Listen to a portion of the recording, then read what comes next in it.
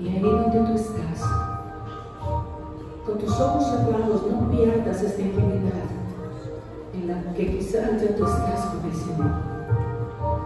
La palabra de Dios en Romanos 3:23 nos dice, por cuanto todos pecamos, estamos destituidos de la gloria de Dios.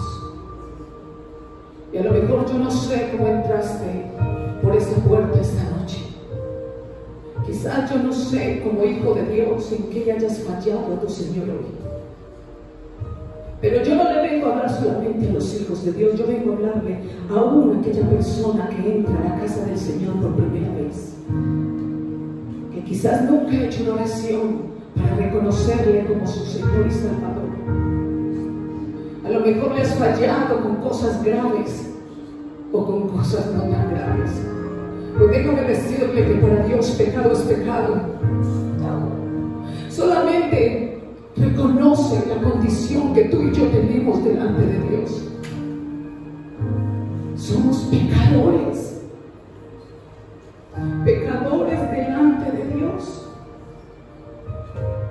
Pero Él es tan hermoso que Dios nos muestra, a pesar de tu pecado, a pesar de mi pecado, nos muestra su amor. Para que cuando tú y yo reconozcamos ese pecado con el cual entraste como hijo de Dios a su casa, reconozcas y te arrepientas. El llamado de Dios no es a condenarte, no es a condenarme. El llamado que Dios te está haciendo a ti, que me estás escuchando en esta hora, es a que te arrepientas. No importa lo que dijiste, no importa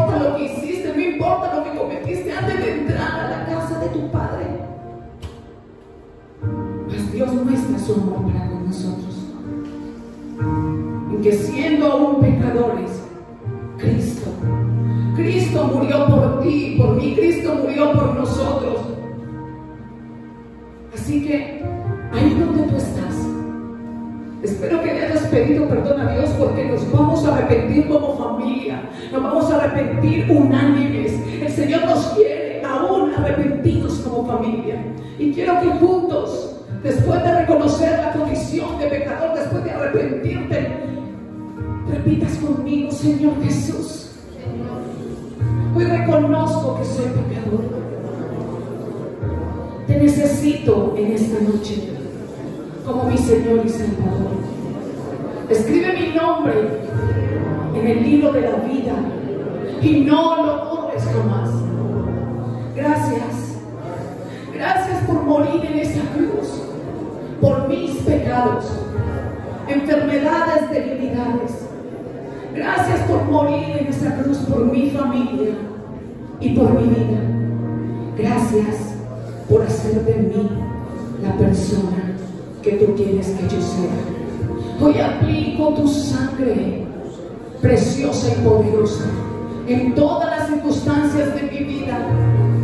Te amo, te alabo y te bendigo en el nombre poderoso de Jesús.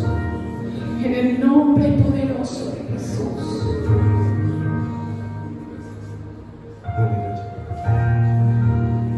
Recuerda que el arrepentimiento te acerca a Dios y el pecado te separa de Dios. Que tú hoy te hayas podido arrepentir de todo eso malo. Como decía la palabra ahorita, Él no quiere condenar, Él quiere salvar. Pero quiere salvar a aquellos que se arrepienten de corazón. Amén. Es capaz de aplaudir el nombre de Jesús.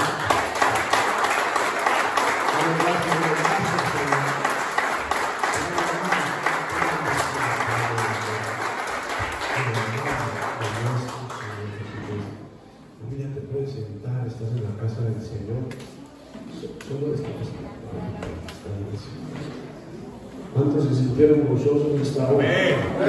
¿Sí? Sintió que pasó de muerte a vida. Cuando se hace la confesión de fe, más que una palabra que sale de los labios, dice que hemos pasado de muerte a vida. ¿Cuántos creen eso? Mira, el Señor Jesús vino a hacer una obra maravillosa en la cruz del Calvario.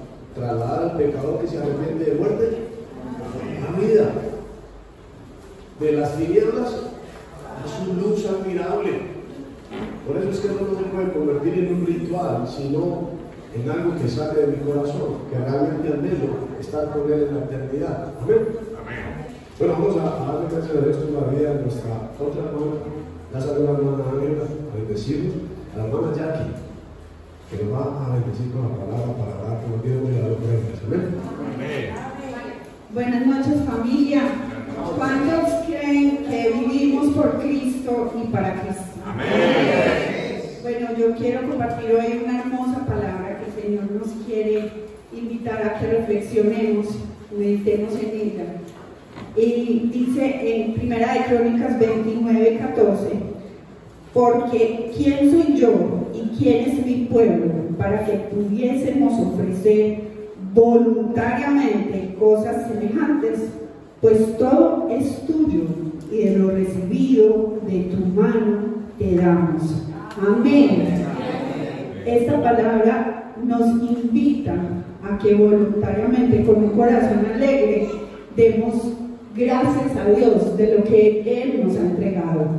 Como buenos administradores, Él nos enseña a dar, que es mejor dar que recibir. Entonces, esa es la invitación de hoy, familia, que podamos orar y dar gracias eh, del fruto que con nuestro trabajo el Señor nos ha entregado y bendigamos nuestros hogares, nuestras familias y ese fruto. Y podamos darle gracias y alabar al Señor porque Él nos ha entregado lo que hoy con todo el amor y con todo el gozo y la alegría en nuestro corazón vamos a Él como tributo. Los invito a que oremos entonces, Señor te damos gracias, Padre Santo. Gracias, te alabamos y te bendecimos, Señor, porque tú eres el dueño del oro y la plata, Padre. Tú eres el que nos da.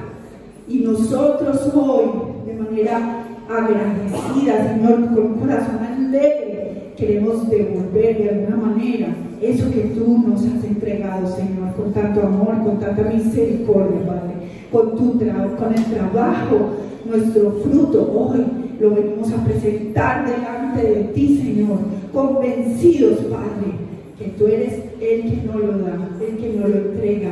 Queremos ser buenos administradores. Por eso yo te pido, Padre, en esta noche, que cada familia aquí, Padre, tú sanes sus finanzas, que cubras sus deudas, Señor, que proveas para que ellos puedan ser libres de toda deuda, de toda aflicción con esto, Padre. Te pido que esta, el trabajo que ellos tienen, Señor, multiplica sus ingresos, multiplica sus bienes, Señor, para que ellos tengan el sustento, para cubrir sus necesidades. En el nombre de Cristo Jesús te lo pido, Padre, te damos toda la gloria y todo el honor, toda la honra a ti, Señor, porque tú eres el dueño de todo. Ti te debemos, por ti vivimos, Señor. Por ti estamos hoy aquí, Padre. Y te damos gracias, te adoramos y te bendecimos. Amén y amén.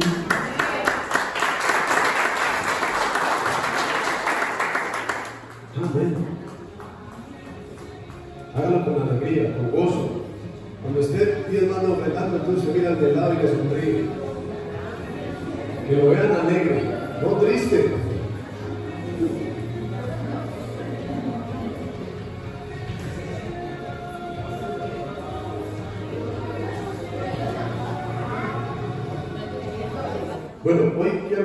Mensaje muy puntual, realmente. Y el Señor me lo, lo puso en el corazón para que lo compartiera con todos ustedes. Y bueno, que trajeron la Biblia también. Bueno, familia, amigos, hermanos. En los últimos días, meses y años, hemos visto y experimentado cómo la palabra del Señor se cumple en frente nuestro, tal y como está escrito. Hay personas que ni siquiera se dan cuenta de eso. El día le pasó y ni se enteró que el día le pasó.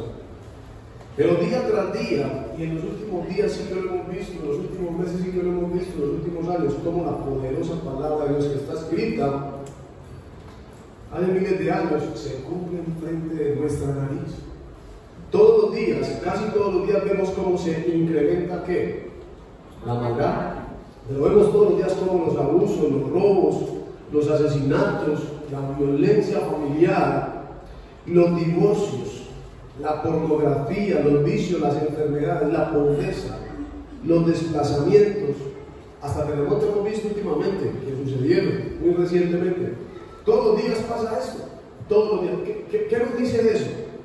Que está escrito hace más de no sé cuántos miles de años y se está cumpliendo y la poderosa palabra de Dios se confirma de que es verídica. ¿De que es que? Verídica. ¿Sí?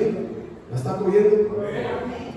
Incluso hasta ahora se está saliendo, si se puede decir que estamos saliendo, de una crisis sanitaria conocida como la pandemia mundial de qué? Del COVID-19. Situación, por si no se dio cuenta cuando pasó o está pasando, situación que ningún poder terrenal lo pudo evitar ni detener. A, a mí me llamó mucho la atención el tema del COVID, porque ¿dónde quedan los millonarios pues? ¿Dónde quedan encerrados? ¿Dónde quedaron los que tenían el poder y que hacían lo que les bien parecía? ¿Dónde quedaron? Si en esa pandemia parecíamos todos encarcelados en un mundo, haga la fila, no hable, no salude, espere que le den una bolsa de leche si la hay. Mire a ver si le alcanzó el papel higiénico, si queda. Y se acababan las cosas y uno decía, bueno señores, ¿hasta dónde va a seguir? Por eso digo que hasta ahorita estamos saliendo, si se puede que estamos saliendo de una crisis mundial, donde esa situación no la pudo detener ni el más bravo ni el mejor abogado. Ni el abogado del diablo lo pudo detener. La pandemia fue una cosa espantosa. Es más, esa situación paralizó el mundo de tal forma que las economías cayeron. La mayoría, o la mayoría, quebró. Se desbarataron sus empresas, sus sueños. No todo fue malo, algunos surgieron y, y emprendieron a través de la pandemia también. Pero si usted hace un balance, todo fue negativo. Fue muy poquito lo que se sumó, o aquel que aprovechó la crisis para salir a flote. También vimos muchos, muchos, y las noticias siempre lo dijeron, cómo hombres y mujeres abandonaron los hogares, las familias, los cónyuges. Se prendía las noticias y la gente está encerrada con la pareja todo el día que no, que me divorcio. ¿Ah? Entonces uno dice, bueno, Señor, si eso fue un simple año y medio, ¿te imaginas de paso una cosa de 3, 4 años? Entonces, todos esos detalles hay que tenerlos en cuenta porque esto nos está gritando en la cara.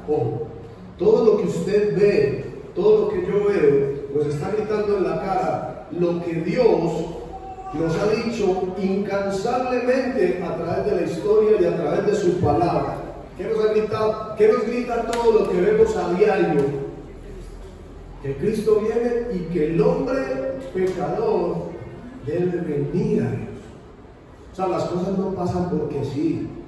O sea, todo esto que usted y yo vemos, todo ese abuso, toda esa maldad, todo lo que se incrementa, esta crisis sanitaria, todo eso nos está diciendo en la cara lo que el Padre hace miles de años dijo, que el hombre pecador necesita volver a Dios y arrepentirse, porque si usted no lo sabía, todo lo que se ve en el mundo es causa del pecado. O sea, todo eso que, hablamos no tiene una causa, y el pecado. ¿Que por qué lo mataron en la esquina? Si era tan buena muchacha. Pues porque en la esquina no hacía sino sumarse a los viciosos de la esquina. ¿Se acuerdan que les conté el testimonio de esta señora que me encontré en Miami? Que me dijo que estaba con el Señor porque le habían matado al hijo. Yo lo he contado ya varias veces. Ella se dio cuenta, yo llegué ahí por, por cosas de Dios un mesecito y la señora se dio cuenta que yo era cristiano y empezó a decirme, es que estoy brava con Dios. Estoy brava con Dios. Pero es como sale eso en la boca de nosotros. Pero bueno, sí somos. Y yo, ¿pero por qué? No, es que dejó que mataran a mi hijo. Y era muy jovencito. Y bueno, ¿y tu hijo qué hacía? No, se mantenía con los viciosos y los vagos de la esquina y lo mataron ahí en la esquina. Pero mi hijo no era ambicioso, no. ¿Por qué no estaba en misa más bien? ¿Por qué no estaba en la iglesia? ¿Por qué no estaba estudiando? Entonces, la, la, Biblia dice, la paga del pecado es muerte. No se queje mañana cuando le venga algo a usted por causa de su pecado, porque la paga del pecado es muerte. En cualquier esfera de la vida. Entonces, familia, ¿por qué estoy tocando todo esto? Porque lo que estamos viviendo nos está gritando en la cara incansablemente, hombre pecador, vuélvete a Dios, vuélvete a Dios. Es evidente, familia, por donde lo queramos ver, que el hombre necesita, que el ser humano necesita a Dios. Pero, ¿cuántos hombres y mujeres en esta tierra se detienen y buscan a Dios? Y mucho más se arrepienten. Se dice que crisis mayores vendrán sobre la tierra, ojo, y nos deberíamos estar preparando para ello. A mí me da mucho la atención.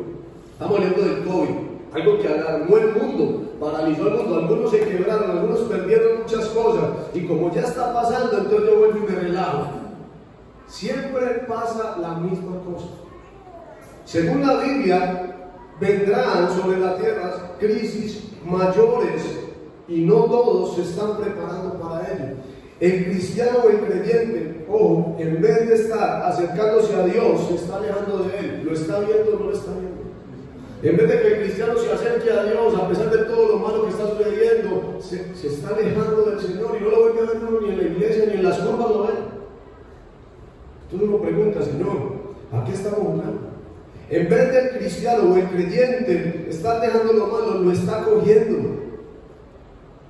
Entonces uno dice, bueno, ¿a qué estamos jugando? Si la Biblia es una, me están mintiendo, ya me dieron una voz de alerta de año y pico con la, con la pandemia. Se está preparando para lo que viene. No, nosotros no, no, no generamos conciencia en cuanto a eso. Pero la Biblia dice que tenemos que ser buenos administradores. Y en otras predicaciones y en otros mensajes dice, prepárate porque el que ha de venir vendrá y no tardará. Cristo viene. Y muchos que no saben ni siquiera de dónde vienen ni para dónde van, los va a coger desprevenidos o quizás haciendo cosas que no tienen que hacer. O sea, pareciera como si no nos diéramos cuenta de lo que estamos viviendo. Yo voy a hablar acerca de un mensaje que está en Mateo capítulo 7. Mateo 7, si lo pueden buscar por favor y leer conmigo. Mateo 7, versículos 13 y 14. Fíjate cómo dice el Señor Jesús en estos dos simples versículos. Además, creo que mi esposa lo tocó un poquito la predicación de ella la semana pasada.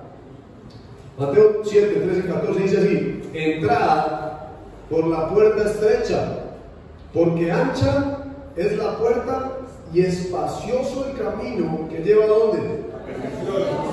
Que lleva a Cancún. Y muchos son los que entran por ella. ¿Cómo? Muchos son los que entran por ella. Verso 14. Porque estrecha es la puerta y angosto el camino que lleva a la vida y pocos son los que y evidentemente el Señor está hablando de dos qué de dos puertas de dos caminos el mensaje no tiene enredo no pierda dos versículos habla de dos puertas una estrecha y otra ancha muy difícil de entender eso. La puerta estrecha y la puerta ancha dice y en pocas palabras nos describe hacia qué camino conduce cada una de ellas. El Señor toca esos dos textos para que nosotros nos enfocáramos en el 2021, aunque contextualmente le está dando un mensaje puntual a la gente de aquel entonces, para nosotros actualmente es el mismo mensaje. Entren por la puerta estrecha que conduce a la vida, la otra nos va a llevar a la perdición. Y nos dice entonces cada puerta hacia dónde conduce. La puerta estrecha conduce al camino de dónde? De la vida al camino de la salvación, pero que la ancha conduce a dónde? Lo que me llama la atención es cómo muchos cristianos, muchos que leen estos pasajes, que vemos todo lo que pasa a nuestro alrededor diariamente y no hacemos nada por prevenirnos para lo que se ha sido. ¿Sí me hago entender? ¿Estamos claros hasta ahí? ¿Estamos entendiendo? Ojo, mira. Nuevamente el Señor nos está hablando de porcentajes en, esos dos versículos. Dice que muchos van a entrar por puerta que ancha, o sea que muchos se van a perder porcentajes. Y dice que muy poquitos cruzan la puerta estrecha. Todos los días nos dice el Señor, abran los ojos, que no todo el que está en la iglesia va a la vida. Entonces es muy porque esto que estamos leyendo es como Dios otra vez tocando el corazón, volviéndonos a decir las mismas palabras en diferente presentación para ver si alguno la La puerta ancha, por la cual muchos se van a perder, y la puerta estrecha, la cual poquitos la hallan y poquitos Y esto es como tan sencillo de entender, pero como tan complejo a la vez. Pareciera como, ojo, como que no nos inquieta, como que no nos interesa lo que el Señor nos dice ahí. Y hago la pregunta a todos ustedes que vinieron esta noche a escuchar el mensaje. ¿Sabe usted por cuál puerta entró y en qué camino está caminando? Ahorita lo hacíamos, la, la reunión de acampado, estamos hablando de eso. ¿Está usted convencido de que usted sabe ¿Está usted convencido? ¿Sabe exactamente en su corazón por qué puerta usted atravesó y en qué camino está caminando actualmente? ¿Usted sabe eso? Ojalá lo sepa. Ojalá esté muy, muy convencido. Porque eso es lo que vamos a aprender ahora. Dice, porque hay unas características que nos hablan qué puerta crucé y cuál camino o por cuál camino voy. Hay unas características que evidencian por qué puerta usted cruzó, si es que la cruzó, y por cuál camino va. Algunos de pronto dirán, no, yo la de Cristo a rato, pero aquí usted se va a dar cuenta si atravesó la de Cristo estrecha o si atravesó la ancha y está enredado. La puerta estrecha, quiero hacer esta salvedad antes de avanzar con las características, dice, la puerta estrecha que nos conduce a la vida no tiene sino un nombre según la Biblia, la única, el único nombre que tiene la puerta estrecha se llama Jesús y lo vamos a ver por la palabra. Y aquí es donde algunos, o muchos, según lo que estamos leyendo, no la han hallado o no la han querido aceptar. Porque en todo el panorama ven otras puertas la influencia, los parceros, el dinero, el poder, y tranquilo que por ahí está, pero le hago, por eso hice todo el preámbulo de lo que estamos viviendo actualmente, de qué le sirvió el dinero a los poderosos en la pandemia. Si no, podía poner un avión y podía tener cuatro, cinco días parqueados. Entonces, según la Biblia, Juan 10, 9, 10, vamos a leerlo, Juan 10. Según este pasaje, nos dice quién, cómo se llama la puerta estrecha por donde se supone todos deberíamos de cruzar. Juan capítulo 10, versículos 9 y 10. Fíjate cómo dice. Palabras de Jesús. Yo soy qué? Jesús está diciendo, yo soy la puerta, el que por mí entrare será qué? Y, y entrará y saldrá y hallará pastos.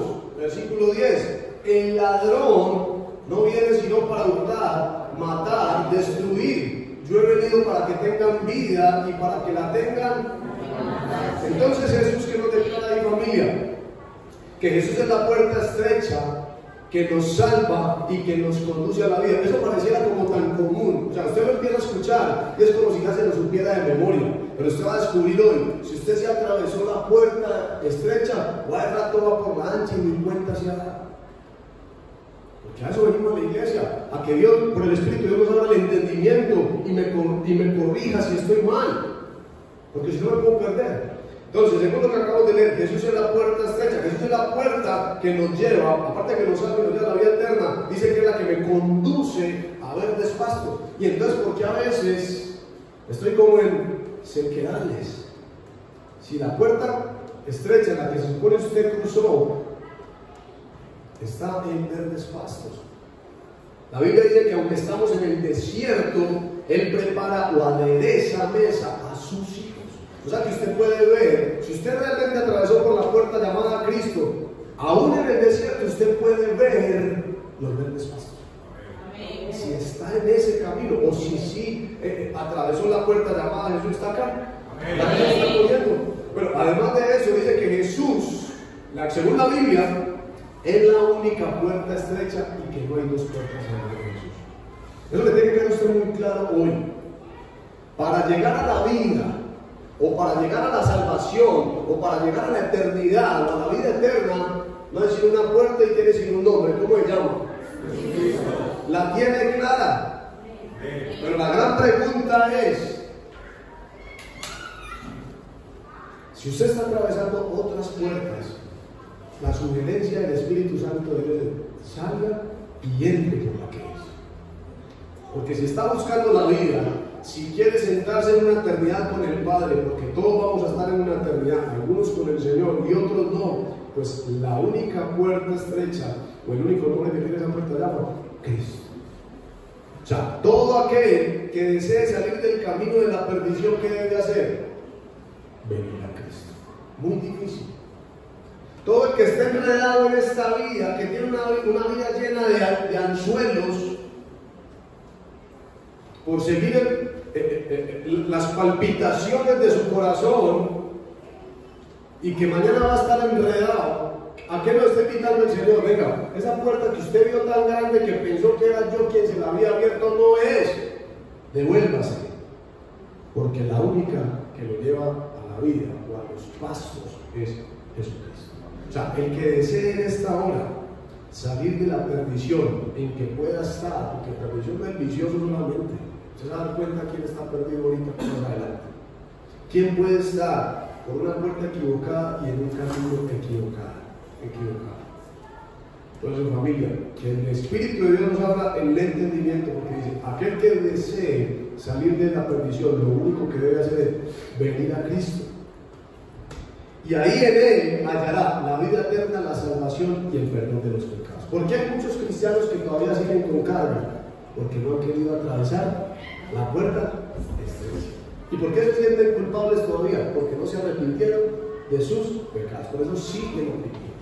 Porque no han querido atravesar por la puerta estrecha. Ahora, quiero enfocarme en el mensaje. Dice, las características que nos indican que algo, pocos por cierto, atravesar la puerta de la vida, la puerta estrecha, si quiere anotarlas, anótelas para que aprendan. ¿Cómo usted puede identificar si su vida se conduce por la puerta estrecha que nos lleva a la salvación? ¿Cómo? Bueno, pues entonces son personas fieles que permanecen. ¿Cómo una persona descubre que camina en el camino de la vida y cómo una persona descubre que atravesó, que atravesó la puerta con un solo nombre y se llama Jesús? Es porque es una persona fiel, una persona que ¿qué? que permanece. Y en el camino del Señor eso es muy difícil. Es más, en cualquier cosa, en una persona fiel es muy difícil. Entonces una persona que tuvo un encuentro con Jesús y que salió de la perdición para entrar por la puerta estrecha, fue una persona que se convirtió en una, persona fiel, una persona que permanece a pesar de las situaciones o circunstancias. ¿Estamos acá? O sea, no personas que abortan cualquier cosa por cualquier cosa. No. Estamos en las buenas y en las malas también. Bueno, otra, otra característica es la persona que ama de verdad. ¿Cómo usted puede identificar una persona, eh, por favor, una persona que está en el camino de Dios, que atravesó la puerta angosta, es una persona que ama la verdad. ¿Sabe cómo hablamos nosotros? ¿Cómo amamos nosotros perdón? No sé si me puede acompañar a 1 Juan 3, 18. 1 Juan 3, 18. Primera Juan está al final. ¿Ya está ahí? Además, ahí ya está, miren. ¿Cómo dice? Hijitos míos, no hablemos de qué. ¿Y de qué? Sino de qué. Pero entonces una persona que vino a Cristo, que atravesó la puerta del perdón, ama de qué? Verdad o palabra. De verdad, familia. Con hechos, lo demuestra con hechos. Cualquiera de ustedes puede decir, lo amo. Hasta el enemigo le puede decir usted que la ama. ¿Sí? Tercera característica, personas que atravesaron la puerta angosta son personas que perdonan con facilidad. ¿Con qué? Yo lo más de bueno para el cristiano. Me cargué otra vez. La frase popular, estoy cargado. Pues el cristiano que encontró a Cristo, que halló la puerta estrecha, que halló aquella puerta, ese perdón a través de la puerta, para que perdona con facilidad. ¿Verdad que hay cristianos que se encuentran en el camino que les cuesta perdonar? Es que usted no sabe lo que me hizo. Usted no sabe lo que hizo Cristo en la cruz por usted todavía. Y sin debe serlo.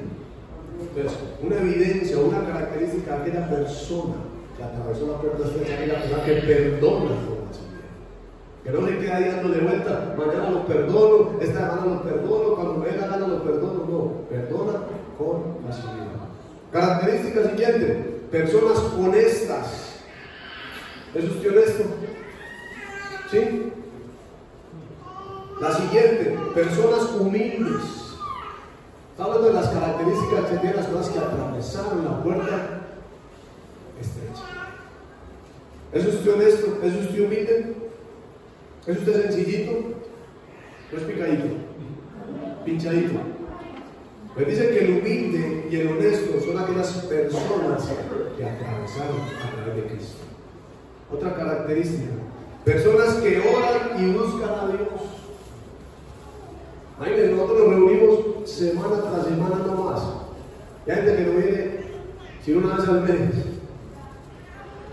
¿Por qué? No sé, no me interesa tampoco. Cada quien, haga usted con Dios. Por lo menos búsquelo en su casa, tan, que lo tiene cerquita. La Biblia dice cerca, aquí está la palabra. En tu boca y en tu corazón tiene que venir acá. Pero el que le congrega está enredado. Dice, personas que oran y que buscan a Dios son los que atravesaron la puerta estrecha. Otra característica de aquellas personas, dice, son personas que leen la palabra y la obedecen. ¿Personas que qué? Leen y obedecen. La ley la obedecen. ¿Sí? ¿O le cuesta un poquito? A todos nos cuesta ciertas áreas. Pero el que es cristiano de corazón, aquel que pasó por Cristo, aquel que entendió que ese camino lo conduce a la vida, venga, no encuentra más placer que leyendo la Biblia. Para nosotros leer la Biblia es un deleite. Usted viene a leer y no quiere dejar la Biblia. No quiere dejar la Biblia. Pero aquel que dice, un versículo ya estoy cansado de dormir. No sé por qué puerta camino. Por eso hoy nos va a decir el Señor por qué puerta estoy caminando. Otra característica de aquellas personas, de personas santas, o sea, apartadas de todo lo malo. Aquellas personas que no escuchan las malas propuestas y mucho menos acceden a ellas. Personas que Dios, cuando pasaron por Cristo, las apartó de lo malo y ahí se quedaron. Aunque vengan 50 mil propuestas. No, porque sé que esto no le agrada a Dios. Porque sé que esto no le gusta a mi Señor. O sea, nosotros no podemos negociar el principio. Si es que cruzamos la puerta estrecha. Amén. Amén. Siguiente característica. Son personas amables. ¿Es usted amable? ¿Sí? Pela los dientes por ahí de vez en cuando. Lo loco nadie. Sí, no, hola, ¿cómo está? Ah, sí, si no, hola, ¿cómo estás? Aleluya. ¿Cuántos dicen amén a eso? Amén. el nombre del Señor.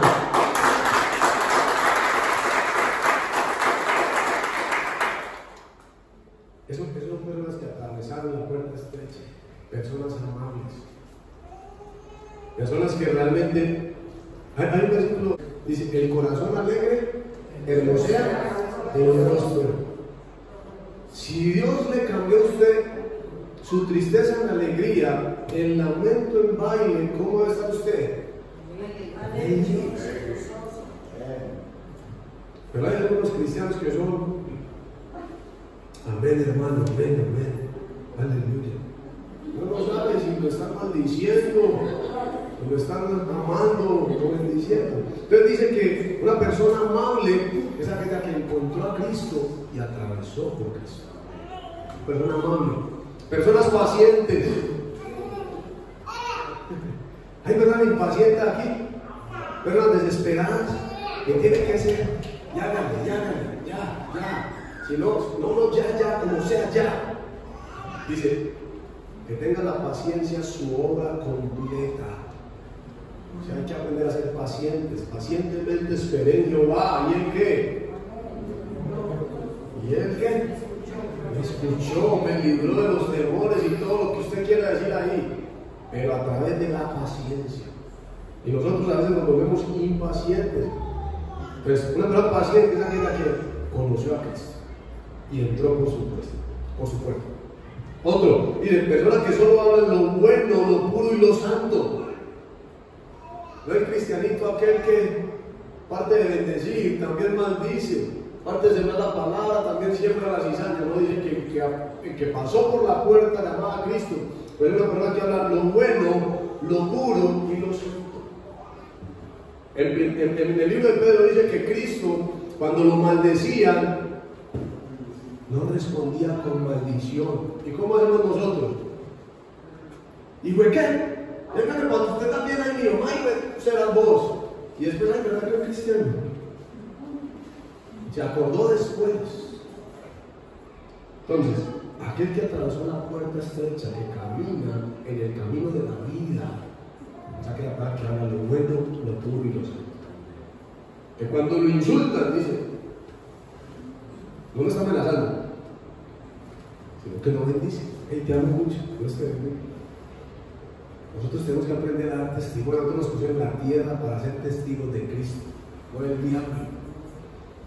Y finalmente, y pueden haber muchas más, dice la persona que atravesó la puerta angosta, una persona pacífica, que donde hay torbellino, lo único que hace es venga, venga, tranquilos, vamos a orar, no es así. Bienaventurados los pacificadores, aquellos que en vez de echarle leña al fuego, buscan la paz. Son personas que, que aparte de creer, tienen a Cristo en su. ¿Está ahí? ¿Está la cogió más o menos? Esas son las características de aquellos que cruzaron la puerta estrecha. Muy difícil. Lo otro es lo contrario, se lo va a decir. Porque después no me lo dijo, pero lo va a decir. Pero las características, o más las características de la otra, de la otra persona. Pero cuando alguien viene a Cristo de corazón y se arrepintió de lo malo, o sea, atravesó la puerta estrecha, estrecha todo lo pecaminoso quedó donde? Afuera. Se no puede decir que usted vino a Cristo y que, aparte de que vino a Cristo, entró con todos los pecados a Cristo. Porque es una puerta y no entra sino usted. Lo malo no puede entrar con usted, dice, todo lo pecaminoso tuvo que haber quedado afuera. El camino de la vida evidencia en la persona todo esto bueno que acabamos de decir. Que usted realmente pasó por esa puerta. Ahora, las características que indican que alguien, y dice la palabra, muchos por cierto, atravesaron la puerta de la permisión o la puerta ancha que empiece a notarlas. antes de decirle cuáles son, porque son realmente lo contrario a lo que acabamos de decir, le voy a decir qué quiere decir o qué significa la palabra perdición dice, quiere decir destrucción. O sea, aquel que sigue andando por una puerta ancha y que se engaña, que es cristiano, va camino a la perdición y todos los días está destruido.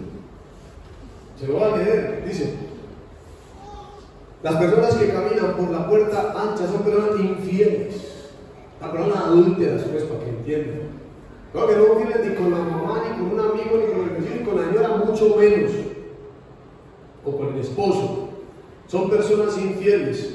Ese tipo de personas no van por la puerta estrecha, van por la puerta ancha. O sea, van camino de perdición. Aquellos que les gusta hablársela a la señora los fines de semana y, y, jugársela por el internet y todas las cosas.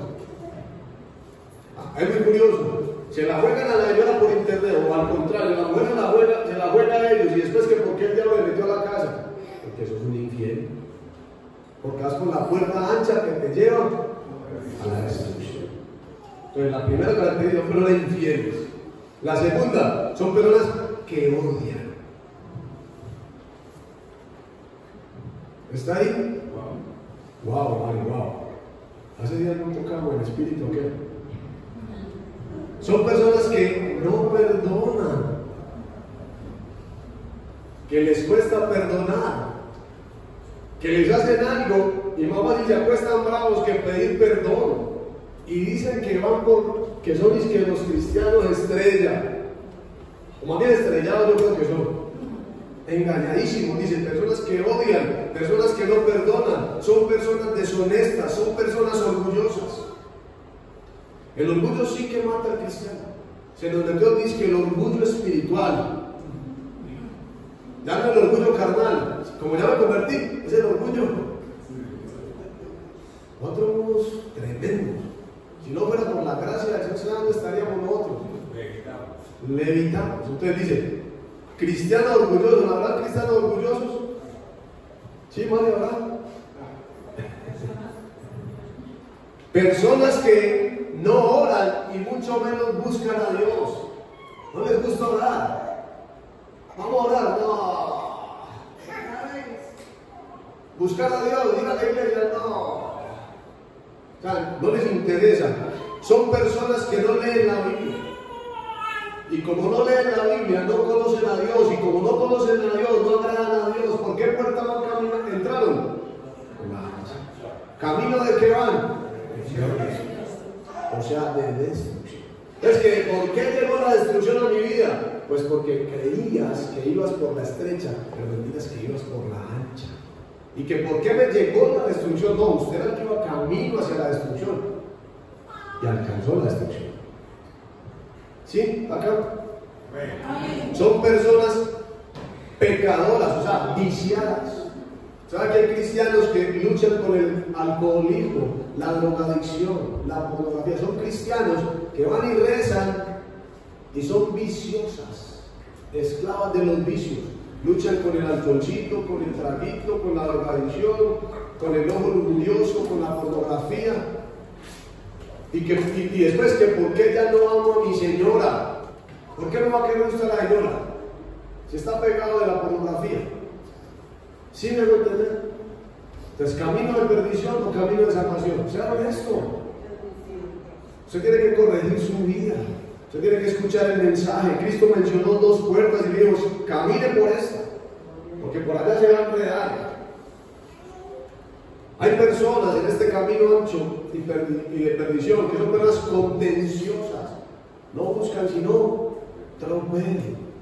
Pelea va, pelea viene. Y que son espirituales.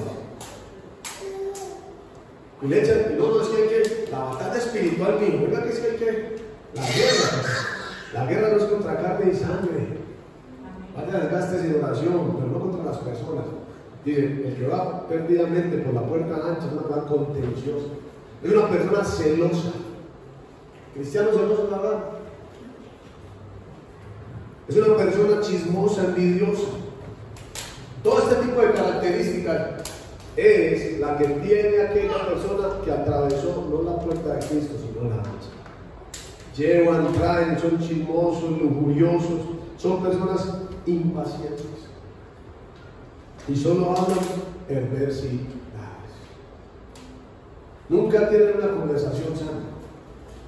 Siempre que se sientan a hablar con alguien, en vez de hablar con, con ese alguien de cosas que edifiquen, terminan hablando del que no tienen que hablar, de cosas obscenas, de cosas dañinas. Y la Biblia dice que las malas conversaciones corrompen las buenas costumbres. Usted puede ser muy lindo, muy querido, pero si en algún momento se presta para una conversación errada, su santidad ¿dónde la va a tirar? A la basura. A la basura, muchachos. Entonces, quiero que con eso que le acabo de mencionar, examine por cuál de las dos puertas usted consume. O en qué camino está caminando, porque si atravesó una de las dos, tiene que estar en algún camino. Y según la Biblia, la puerta estrecha tiene un nombre y se llama Jesús. Todos aquellos, familia, que persisten en esto, atravesaron la puerta ancha y están en un camino de perdición, o mejor dicho, están en camino de destrucción. Entonces, ¿por qué me visitan tantas cosas destructivas? Porque a lo mejor estás caminando en un camino que no es estrecho. Porque si el Señor dijo que el camino estrecho, el cual es Él, me conduce a la vida me conduce a los pastos verdes, ¿Por qué hay tanta destrucción? ¿Por qué? Porque seguramente en alguna de estas cosas yo estoy caminando. Y estas son las evidencias de que no voy por el estrecho, sino que voy por el ancho. Entonces nosotros no venimos a la iglesia por venir. Dios todos los días quiere que mis pasos se corrijan todos los santos días. Y todos los días me da la oportunidad de que enmiende el error que hoy cometí. Mañana te da la oportunidad que lo malo que hiciste hoy lo hagas bien mañana. ¿Verdad cómo lo levantamos nosotros a otro día? En las mismas. Y no salimos de ahí. ¿Y por qué no salgo de ahí, mío? Porque usted no quiere salir de ahí. No quiere, usted no quiere salir. Ya han llamado a todo el mundo y no quiere salir de ahí. Hoy, hoy nuevamente el Padre, ¿cuál es la buena noticia, chicos, de, de lo que estamos compartiendo? La buena noticia es que si hoy tomamos la decisión de salir de allí, ojo, y venir a Cristo, la puerta estrecha, ¿qué vas a hallar? La vida, el descanso que no has hallado. La gran pregunta es, ¿cuántos quieren salir de ahí? Que si usted toma la mejor decisión hoy, no mañana, no mañana, hoy, hoy, se puede cambiar de vida. Porque mientras usted tenga vida, hay esperanza. Después de muerto no hay nada que hacer. Si usted sabe que un problema que usted tiene se corrige con un perdón que usted ofrezca a una persona, si usted sabe que la solución la tiene en las manos, ¿por qué se niega a qué sucede? ¿Qué, ¿Qué, le dice eso a usted? ¿Que está muy cristiano y que va por la puerta estrecha? Muchacho, semana tras semana Dios nos pone contra la pared porque la Biblia es un espejo que me muestra mi maldad. Y su eterno amor lo único que quiere es que yo vuelva y me corrija. Y salimos arrepentidos. ¿Por qué nos tenemos que congregar constantemente? La palabra que me mantiene en la senda de justicia. Que no escuchar la palabra, ¿dónde estaríamos nosotros? Entonces, esa es la buena noticia. Que si tomamos la decisión de salir de esa puerta espaciosa que nos está destruyendo, nos está destruyendo, hay cosas en este momento en la vida de otros que son destructivas pero que llegaron a nuestra vida porque yo decidí que llegaron a mi vida. ¿Qué es lo que hay que tener presente para que esta puerta, familia, te encuentres con él? Que a través de la puerta estrecha solo puedes entrar tú. No entras con tus maldades, no puedes entrar con tus pecados, porque la puerta está hecha solo para que atraviese el pecador arrepentido. Eso lo han predicado en esta iglesia y en todas las iglesias. Que la puerta estrecha, ahí míreme, la puerta estrecha fue hecha para que usted pase arrepentido, pase sin todos esos males que trae, para que pueda disfrutar o hallar los pastos que todavía no ha podido hallar. Hay dos puertas. Jesús dijo, que voy a decir con amor, hay dos puertas. Una que te está destruyendo y otra que te va a dar vida. Y esa soy yo. Finalmente, ni para qué luchamos unos con nosotros, porque finalmente cada quien elige por qué puerta quiere pasar. Yo no puedo amar mucho a usted, y usted me puede amar mucho a mí, pero usted es quien elige por qué puerta quiere pasar. Si se quiere condenar en los infiernos por no perdonar, por ser infiel, por todo lo que leyó, o simplemente decir, estoy cansado, quiero una vida, me, me, me roto delante del los pies del Señor Es así de fácil. El mal sabe cómo, cómo se vence, según la Biblia, estamos hablando de los consejos bíblicos, con el bien. La Biblia dice, el mal que a usted y a mí nos hacen, se vence con el bien, no con el mal. ¿Y cómo contestamos nosotros? El mal se vence con el bien. Finalmente usted es el que va a decidir qué puerta quiere cruzar y qué camino quiere tomar. Pero solo para que lo tenga en cuenta, quiero que te fijes el fin de aquel, ojo, el fin de aquel que insiste en seguir por la puerta ancha. Ya sabemos que es un fin de destrucción, pero quiero que leamos dos textos más para que te des cuenta que Él espera a las personas que insisten y que se niegan a dar su brazo a torcer y ofrecer la. Salmo capítulo 1,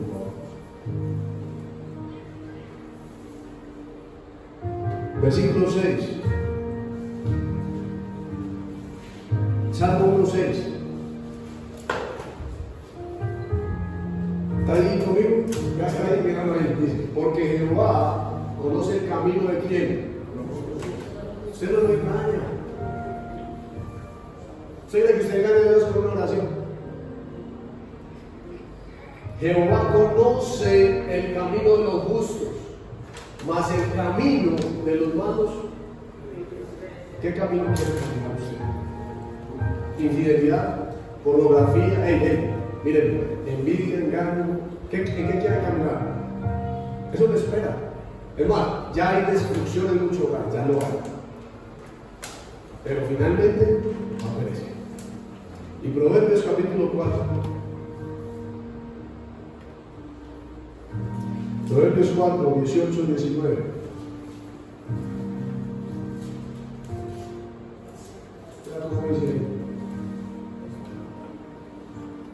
Proverbios 4, versículos 18, 19. Mas la senda de los justos es como la luz que va en dónde? ¿Hacia dónde? Hasta que el día, o sea, nosotros en vez de decaer, el que se mantiene en la puerta estrecha, o sea, alejado de todos los males, su vida tiene que ir así. Y no estamos hablando de plata, que posiblemente también sea una adición o una añadidura a su fidelidad a Dios, a su camino de obediencia. Dice, la senda de los justos es como la luz de la aurora, que va en aumento hasta que el día es perfecto. Verso 19.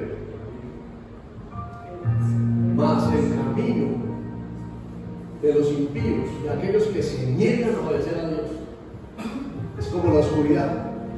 No saben en qué van a tropezar. ¿Y por qué aquello? ¿Y por qué lo otro? Porque está ciego. Te niegas a caminar por el camino estrecho que te lleva a la vida. Y te niegas, y te niegas. Entonces la oscuridad, la niebla te cegó. ¿Y qué te hace? Tropezar. Yo no sé cuántos entendieron la palabra, pero, el mensaje es muy sencillo. Hay dos puertas. ¿Cuál puerta vas a elegir? Porque es que no es solo elegir, es caminar por el camino. Porque el fruto evidencia si usted va por la senda que es. No tiene que parar que dice ahí vamos a orar. Vamos a poner esto.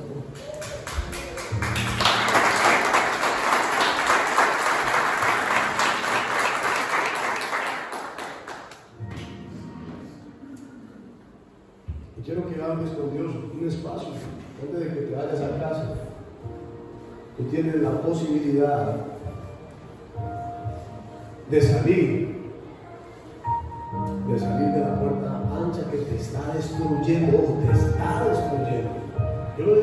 si, no, si no estás cansado de toda la destrucción que, tu vida ha llevado últimamente,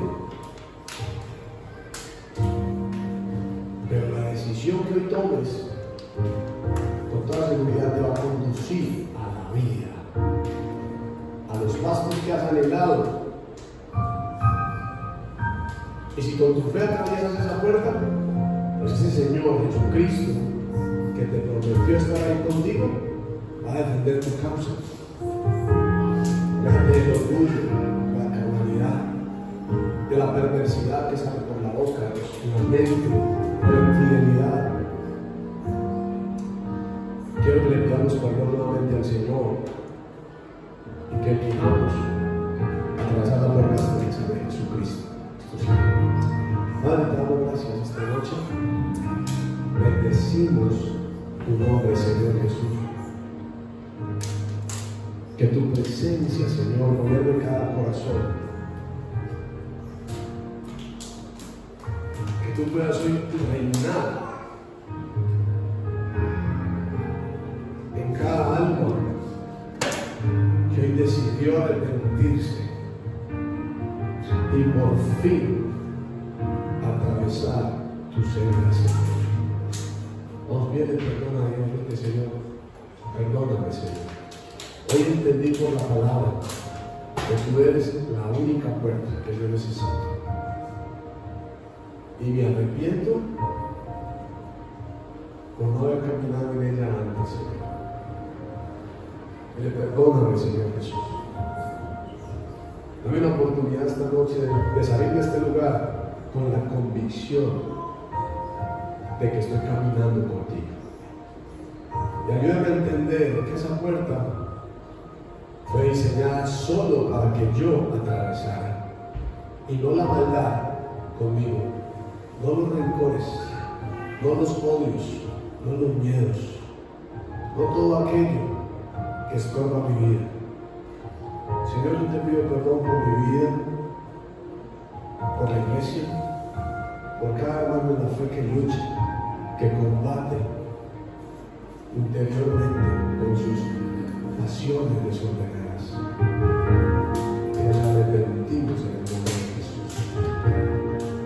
Señor Jesús, que la llenura del Espíritu Santo hoy nos saque urgentemente de ese camino de perdición y pueda ser llevado no solamente nosotros, sino nuestros hijos, nuestras futuras generaciones, al camino de la justicia, al camino de la vida, al camino llamado Jesús.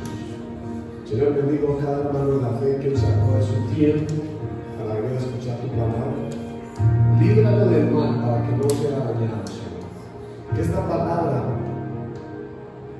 eche raíces en tu corazón y dé fruto al cielo de Señor. Que cada uno pueda experimentar lo placentero de obedecerte solo a ti, Señor. Que podamos dejar de combatir en nuestro hombre pecaminoso, Señor.